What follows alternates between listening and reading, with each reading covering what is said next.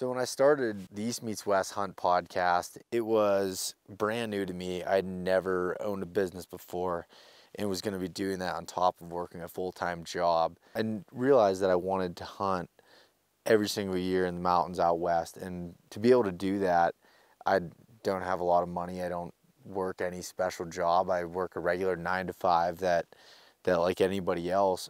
I felt like I had purpose past what I do as a, a day-to-day job and I felt like that I could help people find the adventures that I wanted to do that I have been doing. I wanted others to be able to experience those same things. My name is Beau Martonik and by no means do I consider myself an expert elk hunter, but damn I love chasing them in the mountains.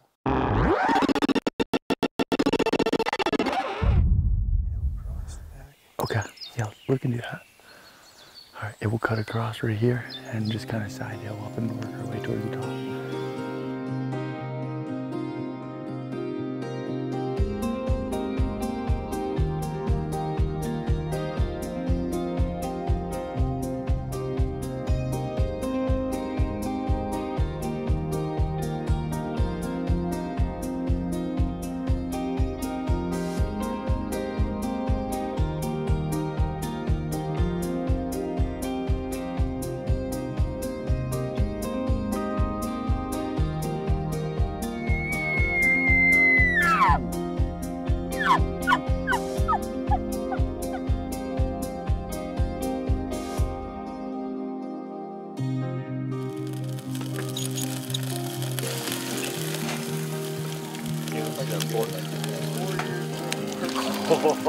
you almost got caught on camera trying to put me out being a grumpy asshole. oh, butter and herbs. Don't go to the saddle. Raw meat on this one, Michael. Go to the saddle. Yeah, far damn. Where'd you find that at? At the Sammy's? Yeah. Everything's at Sammy's. Gordon, you saw her twice. Saw her twice. Did you get her name? Oh, I got her name, number, address. No, No, you- sit down there and drink coffee all day. Zigzag pattern goes. Yeah, I definitely wait waited out. It's one of those ideas like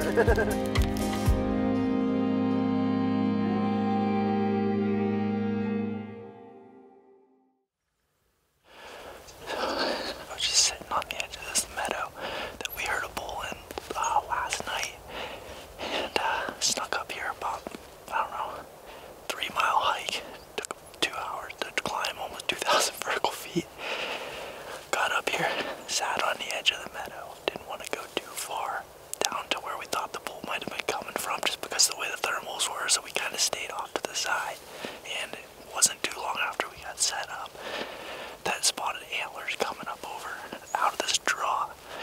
The bull walked past me at about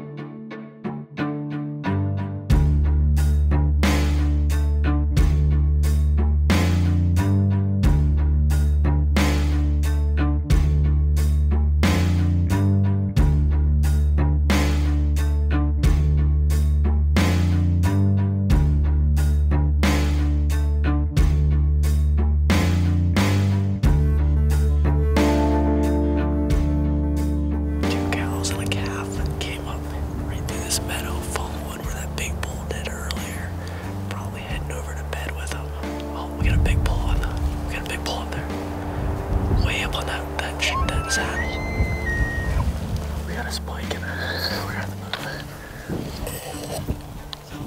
Just get right to there.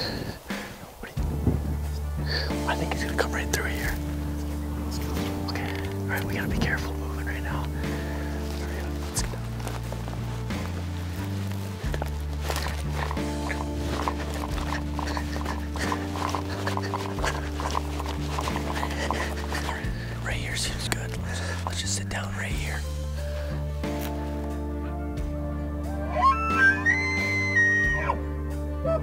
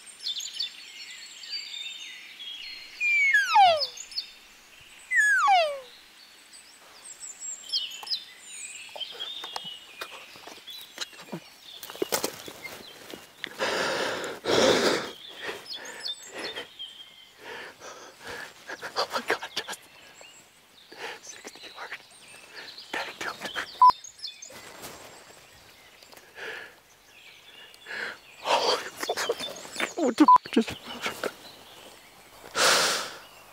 Dude, that's hell.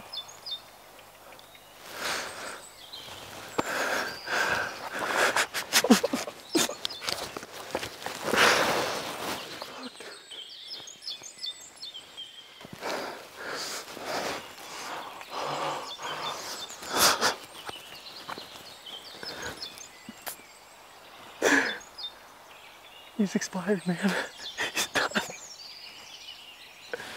I'm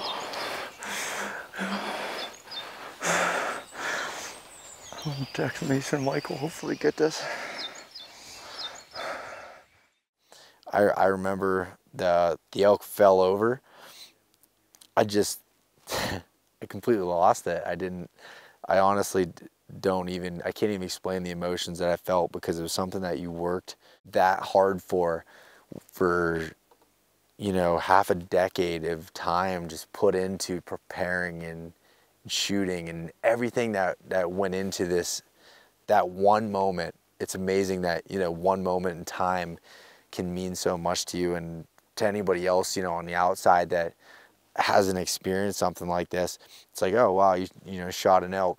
But to me it was you know a much bigger thing something that i can say arguably haven't worked harder for anything else any specific thing in my entire life is that that one shot. After getting the the bull down on the ground and and starting to you know butcher it and quarter it up and get the meat hung in the trees i sent a text out through my my garmin inreach to michael and just said bull down. And he responded, you know, within 15 minutes once he read that message and said, "We'll be there."